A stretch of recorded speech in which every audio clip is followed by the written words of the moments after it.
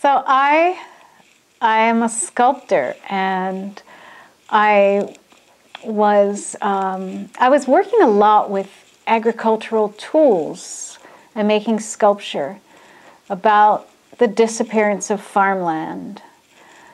And I think that's really what brought me here.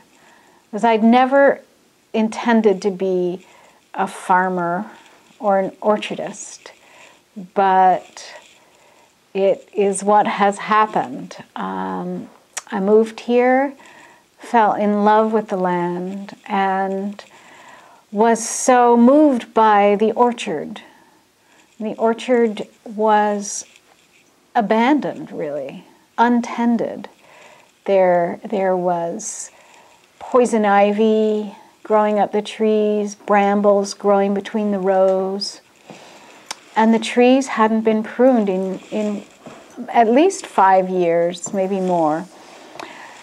So um, that first year, that first fall, I, I, moved here in July, there were no apples. And I was really stunned that there was just not an apple in the orchard.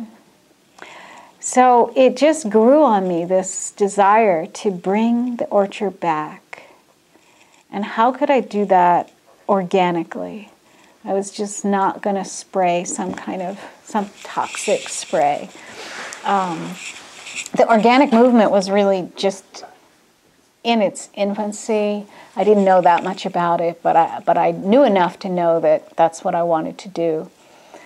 So the first step really was pruning, and I got some help, and we started pruning. And even after pruning that first year, we will we had maybe a hundred trees hundred dead trees that had to be removed. We had five big burn piles i mean just towering burn piles. But there were still maybe 200 trees in the orchard. But after that first year there there were no um, there were no apples. So it took a while, but I did meet someone in town who used to manage an orchard. In an in um, he used to manage Nashoba Winery's orchard, and he knew he knew didn't know anything about organic apples, but he knew about the apple pests and diseases and what it would take to bring this orchard back. So he agreed to help me and that's really Dennis Wagner um, was a great help in the beginning, and that's how we started. So um, over the years, uh, I've been um, really helping the trees by uh, fertilizing, getting them healthier.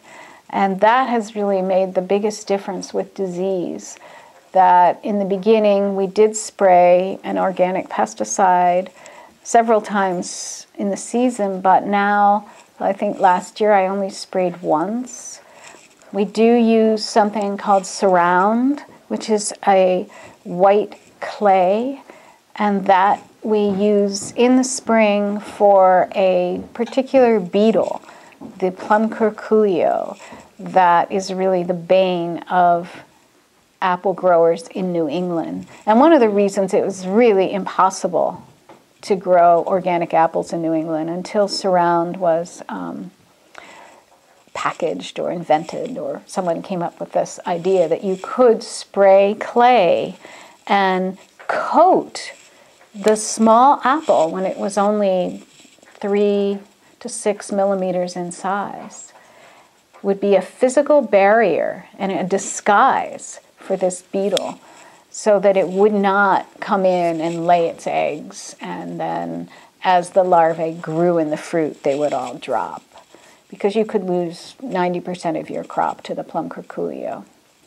So we do spray surround, but a lot of our effort is spraying um, nutrient sprays, seaweed, and um, different trace minerals, calcium, all the things that, in a way, that our body needs, we're providing the plants with, so that as the fruit develops, it is healthy.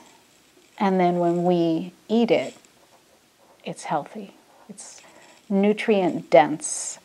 It's, um, it's something that's really good for our bodies. So I feel like now we're actually going beyond the idea of organic, which is simply that we don't use any chemicals, but we're really trying to make what we grow very um, healthy for, for everyone.